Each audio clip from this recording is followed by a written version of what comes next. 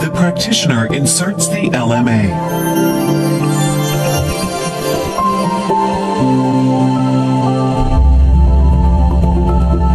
The elliptical mask of the LMA has an inflatable collar that forms a seal around the larynx.